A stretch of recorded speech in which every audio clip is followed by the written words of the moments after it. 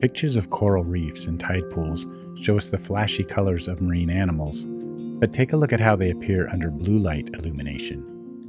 These bright colors are produced by fluorescent molecules found in many marine animals.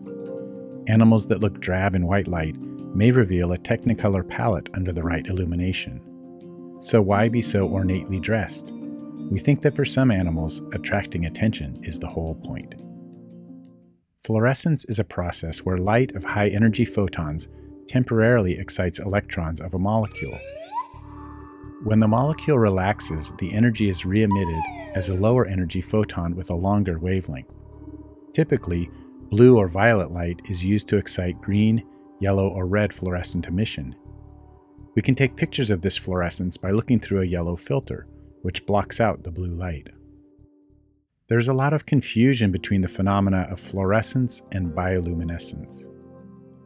These two essences are distinct but related. Some people have even made up a term biofluorescence, which I feel just adds to the confusion. It's easiest to see the difference between fluorescence and bioluminescence when you turn out the lights. Bioluminescence is an animal's ability to produce light in complete darkness. In contrast, Fluorescence only happens as long as there is an excitation light shining. Fluorescence is not visible in total darkness. Confusion is understandable because in some animals, bioluminescent energy is used to excite fluorescence. Why do so many non bioluminescent animals also have fluorescence? To test whether fluorescent coloration might serve to attract prey, we conducted experiments using the flower hat jellyfish, which has fluorescent tentacle tips. We placed young fish in a tank with the medusa, separated by a clear barrier so the jelly couldn't actually sting the fish.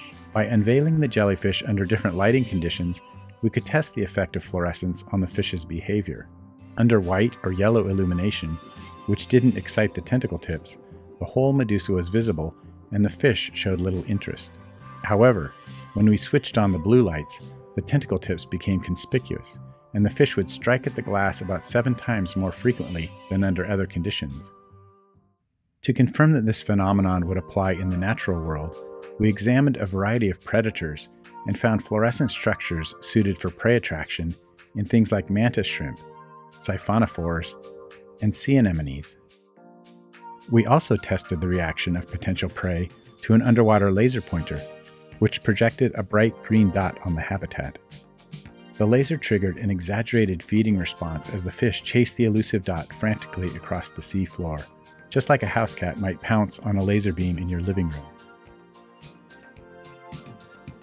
Just because something is fluorescent doesn't always mean that the fluorescence serves any particular function. Turtle shells, algae, leaves, bird feathers, vitamin B, even your own fingernails are all fluorescent because of the chemicals they contain, but these colors are not currently known to serve any special purpose. In the ocean, fluorescence allows animals to transform blue light into a full palette, enabling a variety of colorful displays. Our experiments and field observations show for the first time that one important function of these bright colors is to attract prey to their ultimate demise.